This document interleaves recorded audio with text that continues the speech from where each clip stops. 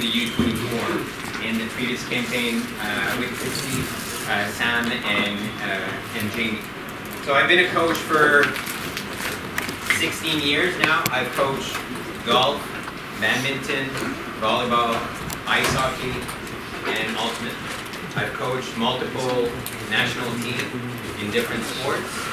Uh, it, I do have a lot of experience, but I don't know everything, and I do make a lot of mistakes. Okay?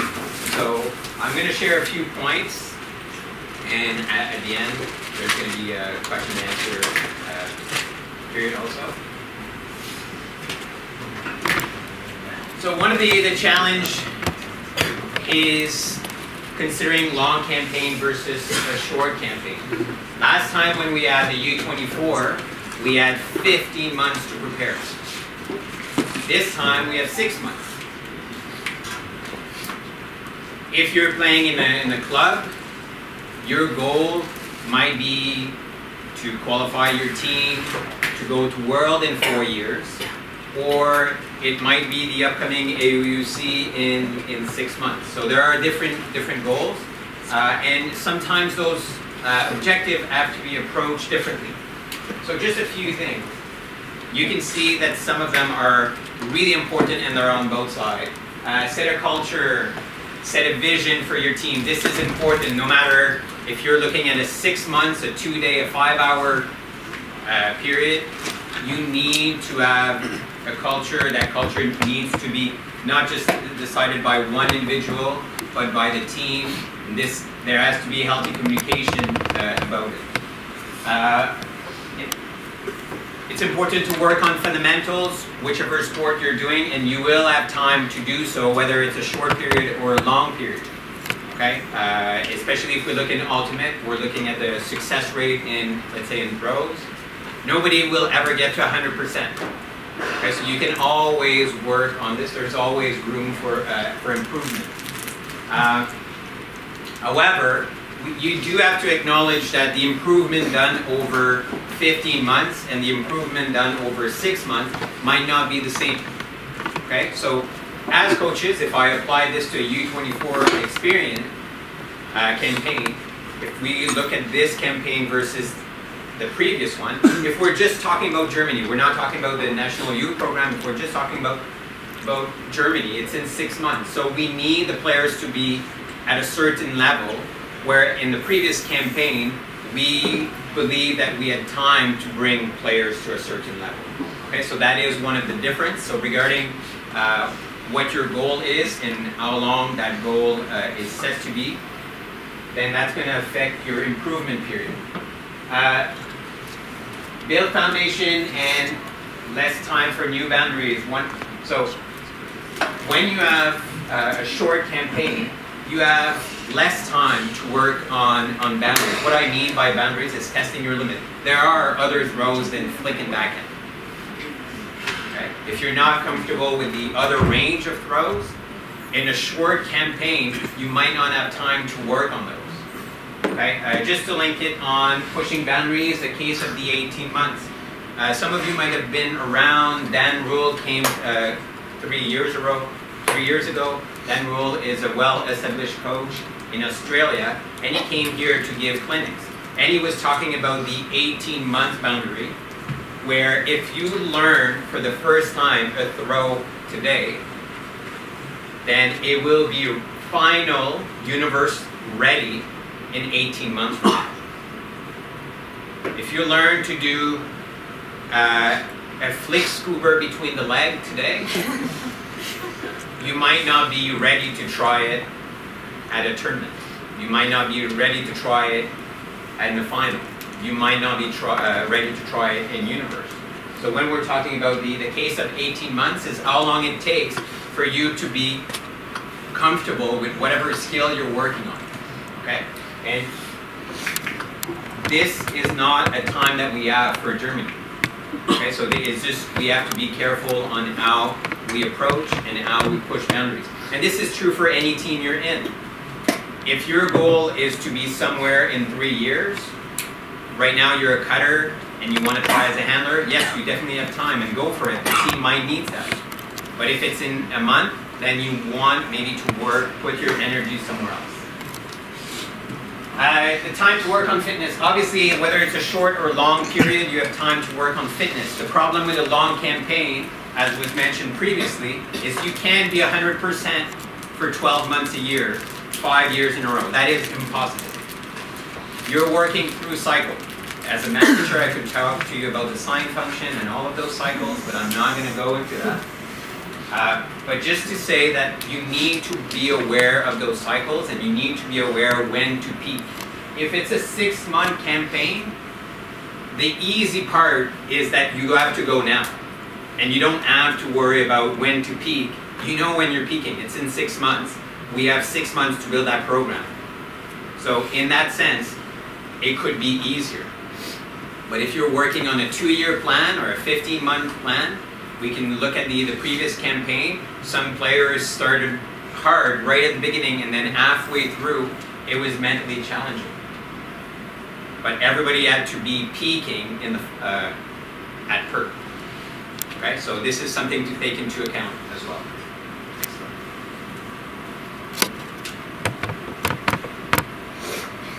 Okay, common misconception.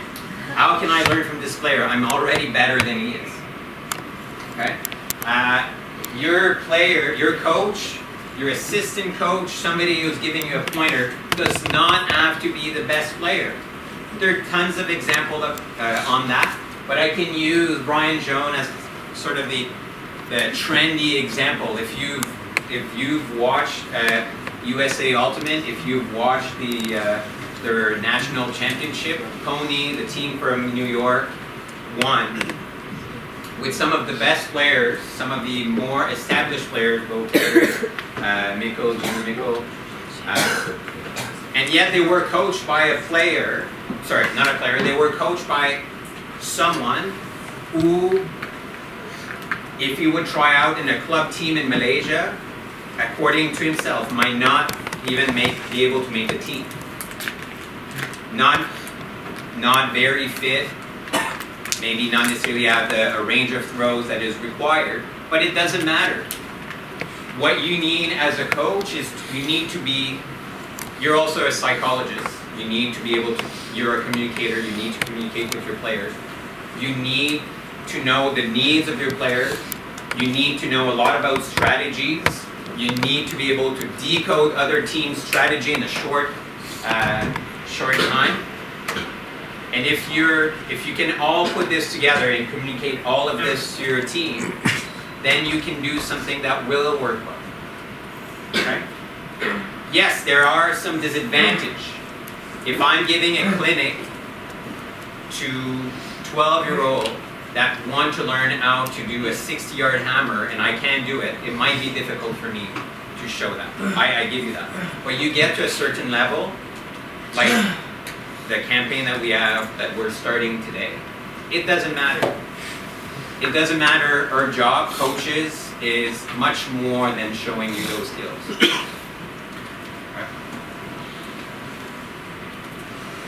Oh, sorry, just to go back on Brian Jones. Brian Jones was able to get the key players on board and sell his ideas, show that he, he could get the respect deserved from his, his, his star players, that everybody would be on board. And that's the key here. Okay? It doesn't matter how good, how bad you are, you need you need to show to your players how good you can be and you need to be able to to have them believe in it. If your players don't believe in you, don't believe in the coaching staff, then it's not going to work. The key is not to be the best player, but the key is to be self-aware. Okay? Uh, self-awareness is what will make one of the biggest difference between an average coach and an elite level coach. If you're self-aware of what you can bring to a team and what your limitations are, then you can surround yourself with the right people, the right team to complement each other. Too often, it's the opposite. Too often, like-minded set paired together, and that creates sort of one identity. with many weaknesses because we don't complement each other. We just have the same strength. What we need to do is exactly the opposite. Okay? What you have this weekend is 12 coaches. 12 coaches that have a wide variety of strengths and weaknesses, but with all our strength together, I, I think everything is covered. Okay? Not everybody will know the answer to everything, but with those 12, I can tell you, you're in good hands. You're in great hands. Uh, players learn when failing, so coach has to be able to create a safe failing environment. That is psychology. If you do a drill that is easy for you, even the, if the coach asks you to do uh, to keep doing it, there's no learning happening. It's easy for you. You're this is you're not you're losing your focus. If you're failing, the challenge is that it's a safe environment. If you're failing badly, then there's no learning also because you're just so upset, so frustrated, uh, it affects your morale. But if the coach can create sort of a challenging environment where, yes, sometimes you will succeed, but a lot of times it will be challenging and you might fail, well, at least you are going to think about it, you're going to try to get better at it, uh, and you're not going to be uh, filling yourself with negative thoughts because you're still you're still in that safe safe environment.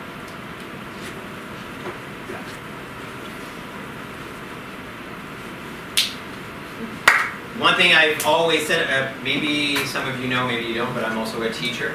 Uh, and I've always said that to my student, if you're not ready to fail, you're not ready to learn.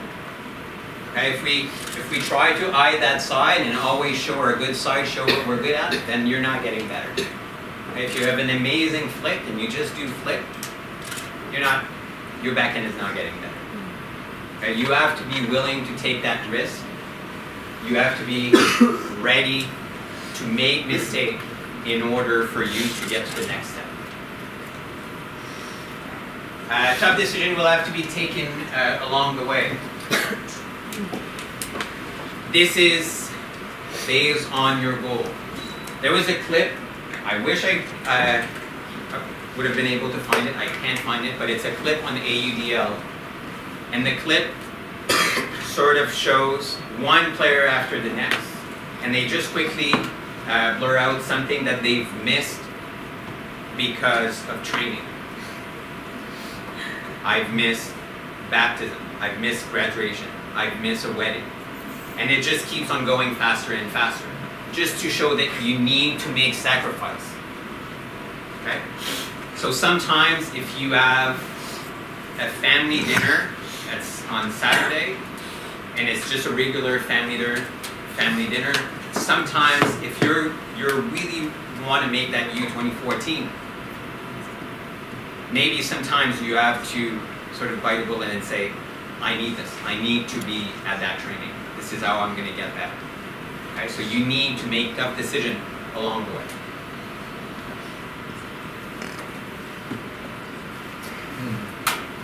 How to get your message across the Star Wars story. This is just my own personal analogy of the dark side versus the light side. okay? Uh, and what I mean by that is, if you're familiar, Star Wars a movie. Uh, there's multiple. uh, so this dark side is often sold as sort of the Quaker side sort of that negative energy. We're going to push you.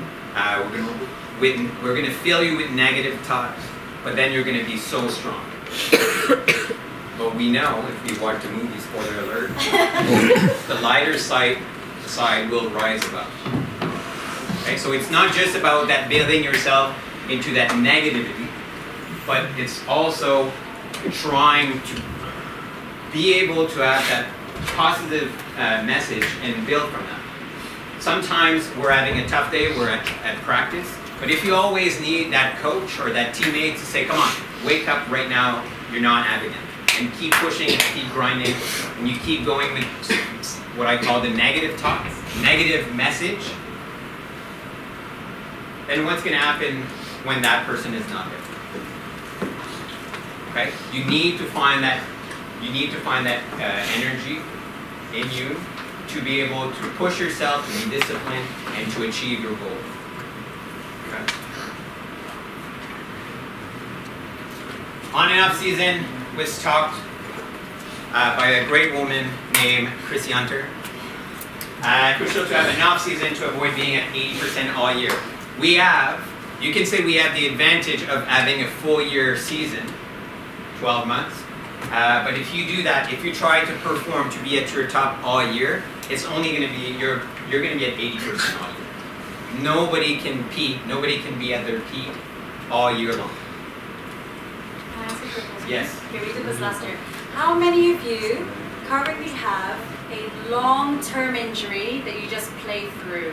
Hands up. Just have like a little niggly leg, your knee, you have to wrap something, you always wrap your ankle. Nice high, please.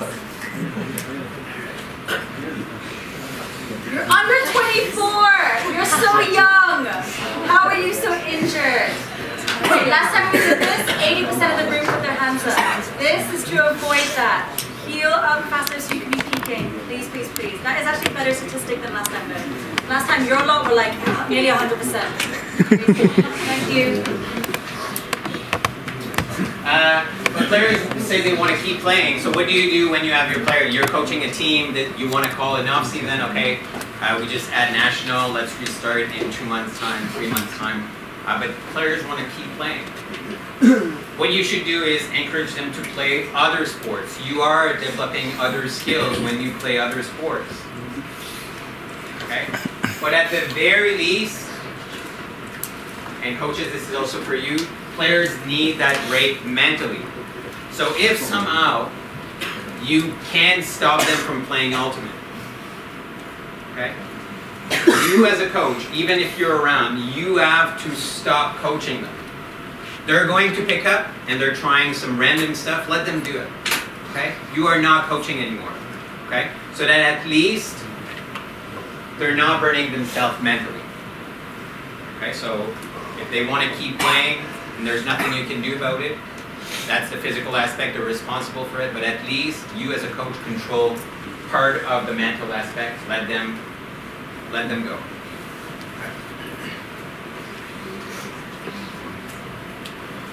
Coach's responsibility to give to give every chance uh, to player to flourish. Okay, if a player this weekend, as an example, if a player says to us, "I don't want to be a handler," and you keep evaluating them as a handler, and they turn out not to make the team, that doesn't mean anything about their cutting. Okay, give them a chance to succeed. Give them a chance to show you what they got. So it is your responsibility as your coach to put your player in that kind of environment where they can do well. Okay. A player's responsibility to work on his or uh, her confidence level. This is also a team effort, but at the end of the day, players need to get to find a method, often on their own, to increase that confidence level. The coach's job is to give all the chances you got. But at the end of the at the end of the day, if the player does not believe in himself or herself, how is the coach supposed to put you in? Okay, so again, give that chance to player to get as good as possible. But players, it is your responsibility to work on your confidence level. Fine line between confident and uh, being arrogant. It's important that you're confident in your skills. At any level, at any sports, when you see a 15, 16, 17, 18, 19, 20 year old player making it big, if, if you see a 20 players making it to the English Premier League, they have that confidence. That is one of the major uh, aspects. Players need that confidence. If you look at any sports, there is no reason why a 30, 32 year old player is better than a 22 or 24 who is supposedly, supposedly uh, in better shape uh, probably faster, more energy, needs less time for recuperation. So if you have, as a younger player, if you have all of those advantages on your side, there is no reason why you get beaten by an older player. And, but often it has to do only with the, the confidence level.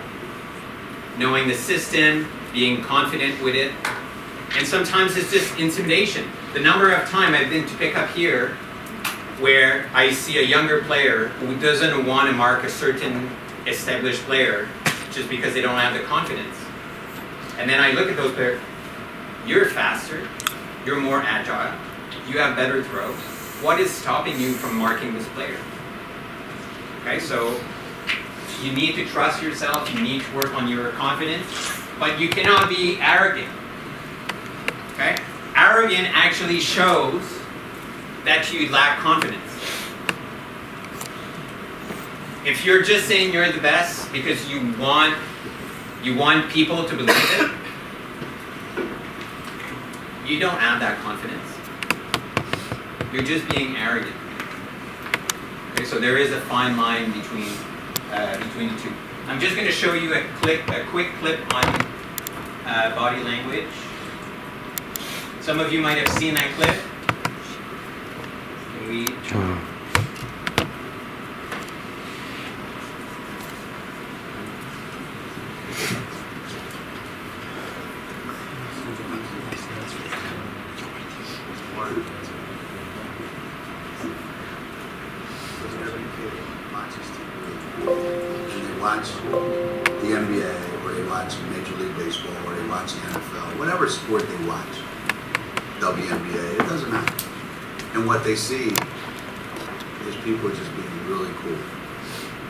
So they think that's how they're going to act. And they haven't, they haven't even figured out which foot to use as a pivot foot, and they're going to act like they're really good players. You see it all the time. You see it every AAU tournament, you see it every high school game. So recruiting kids that are like really upbeat, loving life, love the game, have this tremendous appreciation for when their teammates do something well, that's hard. That's hard. It's really hard. So on our team, we, me, coaching staff, we put a huge premium on body language. And if your body language is bad, you will never get anything. Ever. I don't, I don't care how good you are.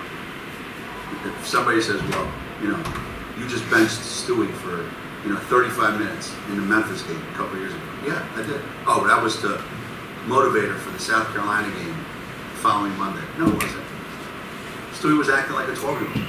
So I put her on the bench and said, sit there. It doesn't matter on our team. And the other coaches might say, well, you can do that because you got three other, you know, All-Americans. I get that. I understand that. But I'd rather lose than watch kids play the way some kids play. I'd rather lose. And they're allowed to get away with just whatever. And they're always thinking about themselves. Me, me, me, me, me. I didn't score, so why should I be happy? I'm not getting enough minutes, why should I be happy? That's the world that we live in today, unfortunately. And kids check the scoreboard sometimes because they're be yelled at by their parents if they don't score enough points.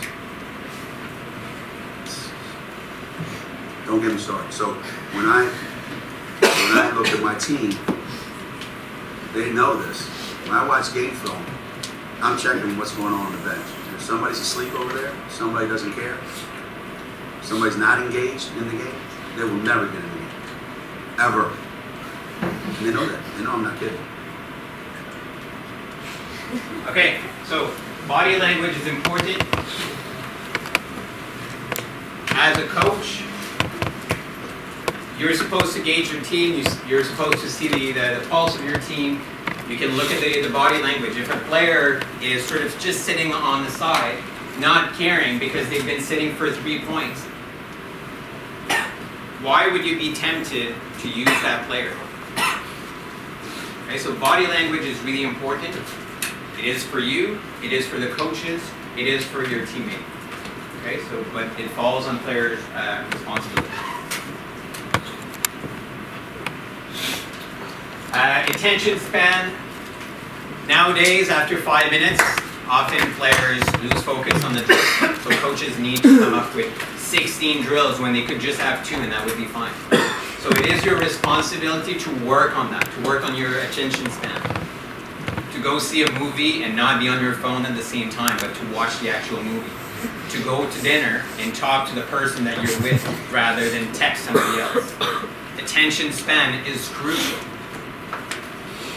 Make sure you enjoy the ride. I've talked to many players about this. If for whatever reason you're training for the big campaign, a big tournament, and you can't make it there, or you don't get selected, at least if you enjoy the ride, if you enjoy the time in between, you got something out of it. If you're suffering through this for just for the end goal, you don't know what's going to happen. You might not be, you might not be, uh, you might not play, you might be injured, whatever it is. Okay, so at least if you enjoy the ride, you will get something out of it. Uh, it's important, to, obviously, to be disciplined and to get uncomfortable. Okay, try something that is outside of your boundary. Uh, coach's rule. Leave room for players to grow. You will see we have two modes here in U24 and uh, other clubs try that. We have a stretch mode and accountability mode. Stretch mode is for you to try something. You want to try that big long throw, you want to try that, that super break throw, go ahead. On stretch mode, no evaluation, no players will ever be cut on stretch mode. And then you have accountability mode where we want to see, where coaches want to see how you can do those simple things well. That is your accountability. Uh, important to plant seeds here and there. If you try to show a skill and you're only going to move to the next drill when your success rate is 90%, you're going to do two drills during the season. You need to show different drills, plant the seed, and then players will slowly get better at all of those. And then you have yourself a team. Uh, create challenges for your players, but make sure to stick to them. If you say, we're going to do this drill until we get 30, 30 consecutive throws. If, if you set this, and after two hours you still haven't succeeded, just keep going. You have set that, that goal. Otherwise you're sending the wrong message. but at the same time, it is your responsibility to set goals that are achievable. Uh, coaching is like parenting. Some challenging will have to be faced by the players only. It doesn't matter how well we prepare you, there are some challenges that we know are coming. And there's nothing we can do about it. We're going to prepare you as much as you can, but you're the one that will have to face that on your own. Uh, minimizing negativity. I just brought that point uh, from a video that some of you might have seen it, uh, might have seen from the Fury coach, basically talking about line calling. And if every every time you have, let's say, a line of 10 players, and you take seven, you're always turning down three players, then they start questioning themselves.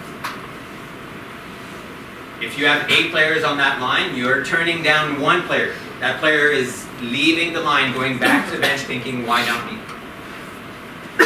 Instead, if you have three lines of seven and you keep a rotation, uh, that might min uh, minimize that negative. This is for another talk, but I just wanted to add it there.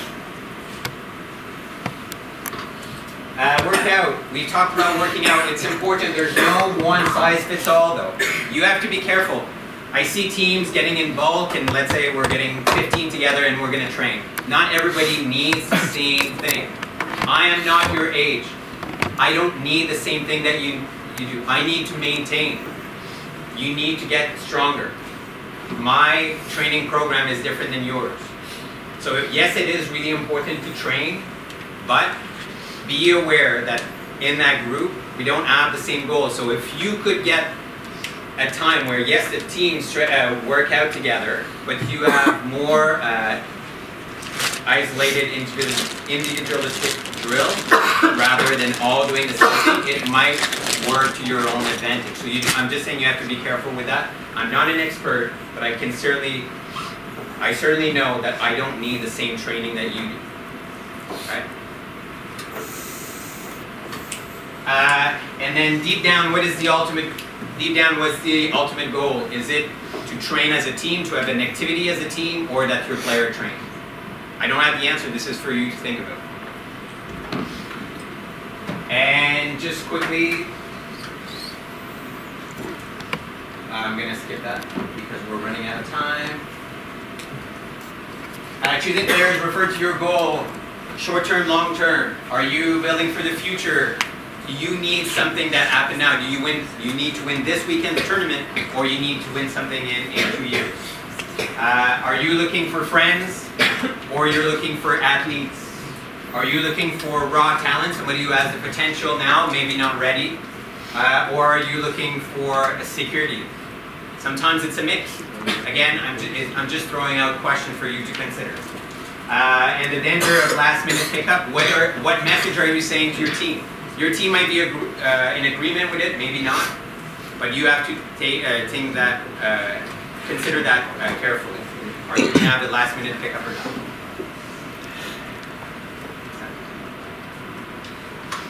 We're going to pass this. We're going to pass this one. Uh, just to give you a brief idea, for a quick idea for you 24 for the last two minutes. It's important to strengthen your foundation. Foundation. We are part of this. Uh, to create our own culture. What we had in the previous campaign. Commitment, be ready. If this is going to be stronger, spirit, be better. Missing a T there, a better. Uh, encourage communication, discussion. Okay, so it's important. You need to communicate. It's not one group. A lot of uh, organization work, work with a hierarchy. Let's break that. Work together. Communicate. Uh, understand the strength of uh, weaknesses of each strategy. So if we show you a bunch of strategies, it's also important for us to show you the strength and weaknesses of strategy so that when you play against a team, you know what, uh, what to expect. Develop a new wave of players who would be the future leader. We have them here. We have 10, 12 players, uh, returning players from the past U24 who are here this weekend to help you. Uh, and to prepare players for the international scene. Okay? sorry, I'm running out of time, but is there quickly a quick question?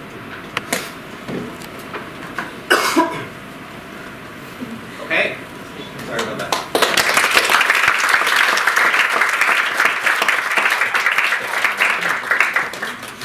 Right, thank you.